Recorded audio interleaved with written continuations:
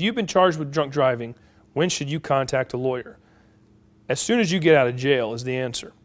You need to contact a lawyer as soon as you possibly can after your arrest and release because you never know what evidence may be lost or be able to be saved if you think something happened during your arrest that was improper.